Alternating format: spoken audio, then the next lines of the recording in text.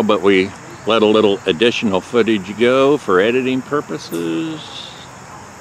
So anytime you're ready, five, four, Good morning. My name is Mike Judson. This is Jim Nelson. Morning. And we're with Five Medals Living History Incorporated. Uh, Five Medals Living History is a 501c3 nonprofit. We're dedicated to education and preservation of our history. And um, because of our geography, we're kind of focused on the local history and especially during the uh, early 1800s, the War of 1812 era when we saw a lot of activity here and just prior to statehood and settlement. So today we're set up here at Chautauqua Wawasee and we brought a number of artifacts, uh, both original and modern reproductions that we uh, plan to share with the public as they come through. So if you'd like, I can step inside and we can kind of walk through what those are and I'll explain them to you. I think I'll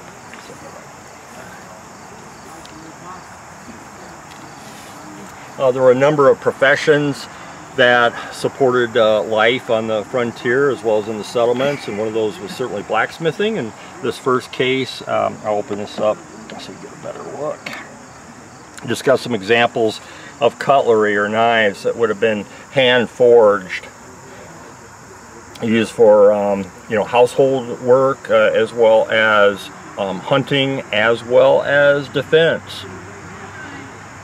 And also in this case we've got um, some things to support the use of the black powder muzzle-loading firearms. And those would be um, lead bars which have been melted down to make um, the round ball used in the rifles and smoothbores and also the bullet molds as well as a lead ladle that we would hold over the, over the fire to melt the lead. So these bullet molds um, we would if our lead was built or lead was um, melted in the lead ladle and we would pour that through the opening in the ball mold and give that a moment to cool and we'd pop that open and a lead ball would pop out. So that was how the individual would uh, run ball as it was called for their gun. The other case, um, this would be example, this would get into the, uh, the culture of the relationship between the European American uh, governments and the Native Americans. And one of the um, one of the symbols of that would be the peace medal. And so the European Americans would present these to the Native Americans, and it was a it was a, a reward or an award, um, and also they would use it to uh, develop a prestige among the principal chiefs. And so there's several examples in this case going back as early as 1757 for the British with the King George II medal. Um, and then we worked through with um, a um, just a peace and friendship medal dated 1790, the George Washington Oval from 1794. These are all reproductions, by the way. Um, a representative medal. This isn't the original Greenville medal. That would have been a, a large oval, but just a commemorative medal from Greenville, 1809 um, Treaty of Fort Wayne. And then the presidents all issued peace medals. So the Jefferson here would be similar to what Lewis and Clark would have taken with them on their journey to present to the native tribes as they interacted with them. And then finally the James Madison medal, which would have been uh, prevalent during the War of 1812 era.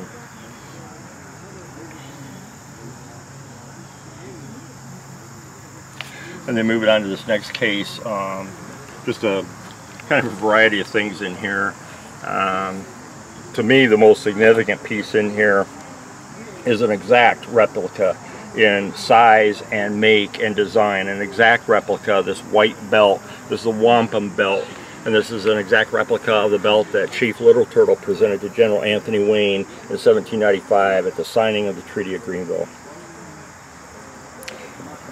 The blue belt is a um, was uh, manufactured by a Potawatomi and that is a called a friendship belt and you can see the two figures in the middle which represent the white man and the native uh, as friends and this would the the bearer of this would receive a safe passage through the lands of both the Potawatomi um, and the um, Chippewa, actually all three tribes, uh, Potawatomi, Chippewa, Ottawa. Then we move over to some um, weaponry Um, just a replica, or example of a, a um, British uh, heavy dragoon pistol, a common 18th century pistol that um, any anyone would potentially carry. And these were used for um, pistols, of course, were just used for uh, in battle or self-defense. And then we have a, a, model 1818. This is an original piece, a model 1818 cavalry sword, which has actually been cut down. It looks like it looks to me like it was probably cut down and used as a hunting sword. And it originally would have had a leather and, and wire wrap grip on it as well, but that is an original piece. Wow.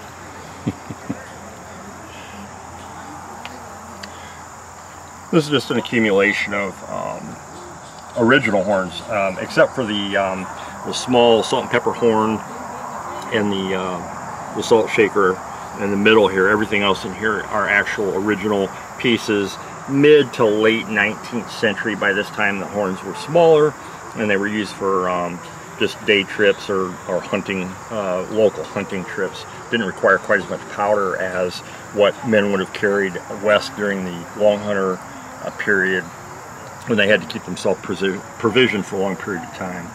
But they're they're pretty neat. They're all, um, like I said, they're all originals, and they've just each got a lot of character. Um, you know, someone made these um, to their own uh, design and specification. Some are very simple, and there's some more intricate uh, work in some of them as well. So just a, a piece of our history, and um, if they, I wish they could talk.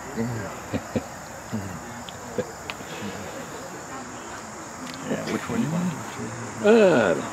And just uh, an example of uh, several styles of axes, and um, these again were all these are all uh, reproduction pieces, but they're all hand forged by blacksmiths. And you can see they each um, would serve various functions. Got the pole head axes, so they can be used to um, to hit something or drive a stake or um, whatever the, the owner desired to do with that a working man's tool. If you, as long as you had a good axe uh, out in the wilderness, you could do just about anything you needed to do to survive out there. And in this final case, let's open that up so you can get a. These also, uh, this returns to the native culture, and these would be um, pouches used by the natives for whatever they, they wished, oftentimes for their um, shooting accoutrements.